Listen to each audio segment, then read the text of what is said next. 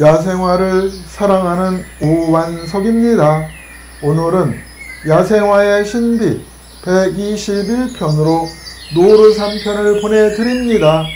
노르삼 분류 미나리 아제비목 미나리 아제비과 노르삼소 학명 액테이 아시아티카 에이치하라 꽃말 신중 허세 부리지 않음 분포지역 전국 각처의 산지에서 자란다. 형태 여러 해살이 풀. 크기 높이는 40에서 70cm로 자란다.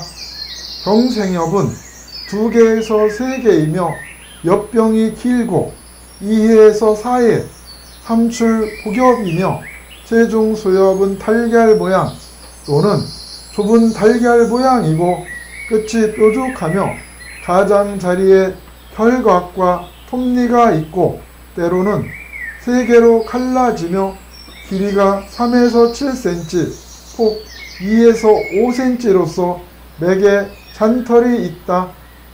꽃은 6월에 피고 백색이며 줄기 상부에서 길이 3에서 5cm의 통상 꽃차례로 핀다. 꽃자루는 길이 10에서 15mm, 지름 1mm 정도로서 성숙기에 암적색으로 된다. 꽃받침 조각은 4개이며 벚꿀 달걀 모양이고 길이 3mm 정도로서 꽃이 피면 곧 떨어진다. 꽃잎은 6개이며 넓은 달걀 모양이고 길이 2에서 2.5mm이다.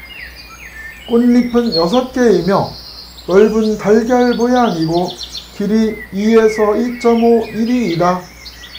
수술은 많고 길이 4mm 정도이며 수술 때는 실 모양이고 앙술은 한 개이다.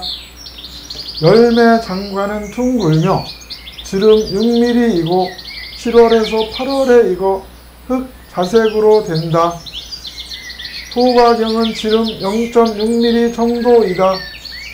줄기는 높이가 40에서 70cm이며 기부에 몇 개의 갈색 비늘 조각이 있고 털은 없으나 다만 윗부분 꽃차례 부분에 짧은 건모가 있으며 갈라지지 않고 두 개에서 세 개의 큰 잎이 있다.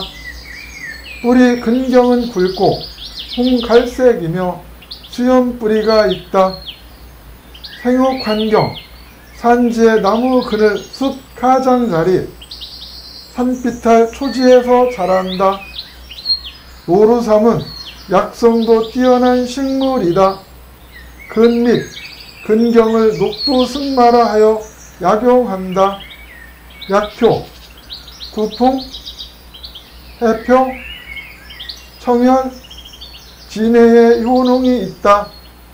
감모, 두통, 신경통, 해수, 백일에 기관지염을 치료한다. 붉은 노루상, 열매가 석색 또는 백색이다. 자세한 정보는 동의보감과 백과사전을 참고해 주세요.